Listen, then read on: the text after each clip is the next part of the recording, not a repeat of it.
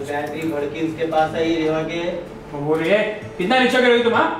अरे तुम तो कहती थी ना कि वो उसे पति नहीं मानती तो काहे छूटे आँसू बहा रही हो? हम जानते जब तक तू मनहूस का साया रहेगा ना हमारा बेटवा कहीं ठीक से नहीं रह पाएगा। बाहर निकल अस्पताल से। वो लगा, ये तो हमारे परिवार पे काली के काली कठपुतली बना के रखा है हमारे बबुआ को। जैसे चाहे वैसे नचा रही है वो। देख लेना तुझे हमारी बदुआ लगेगी। ये लड़की अगर हमने बिटवा को कुछ भी हुआ ना याद रखना चिंता नहीं छोड़ेंगे देखा रेवा दिखी उधर पे। लियो।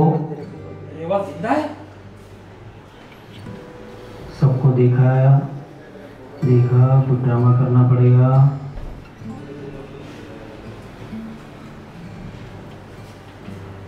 कंटिन्यू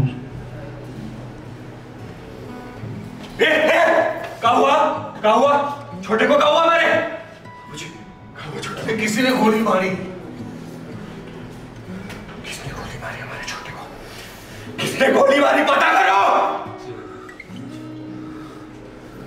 किसने मारा हमारे छोटे को?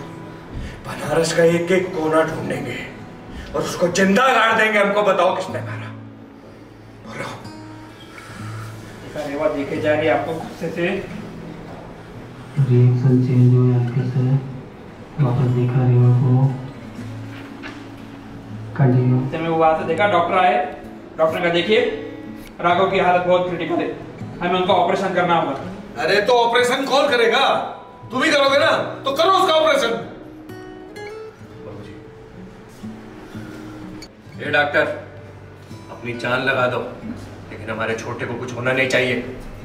जितना पैसा बोलोगे ना हम देंगे तुमको। लेकिन ठाकुर परिवार का चिराग बुझना नहीं चाहिए।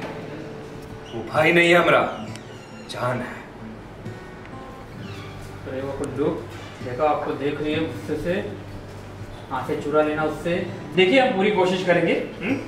आप बस कुछ फॉर्मेलिटी दे वो पूरी कर दीजिए। Okay nurse. चलो चलो जल्दी लाओ जो भी करना जल्दी लाओ। चलो।